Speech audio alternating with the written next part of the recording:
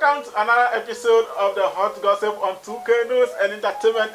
My name still remains Calvin Mackey, your favorite handsome boy, your world gossip and everything. Yeah.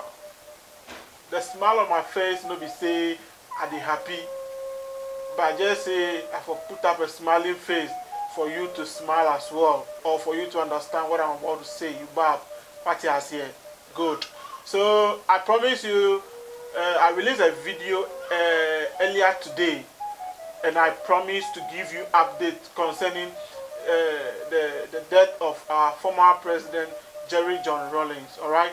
So information gathered now.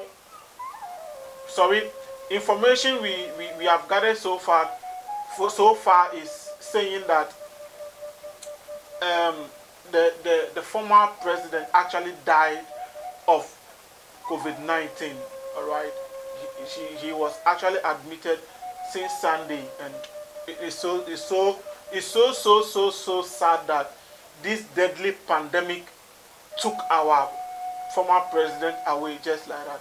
As you can see on the screen this is our former president actually directing cars in the traffic as you can see. And this is the kind of people we want in this country as you can see.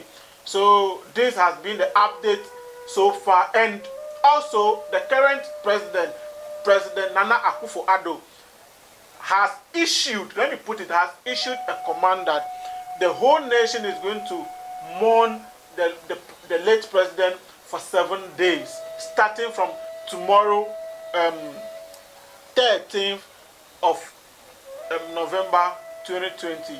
Okay, so I will mourn, you will also mourn. All right, let's let's give our last respect to Jerry John Rawlings. So this has been uh, the update so far. Our president actually died of coronavirus, COVID-19, and it, it's so sad. I will never forget this year when this deadly pandemic of virus took this man away. So sorry once again. My condolence to his kids, wife, and everybody. So sorry. So so so sorry. So please subscribe. Subscribe. I'll keep updating you. If you gossip, they do. I mean, you know. Come join me to do gossip. Yeah.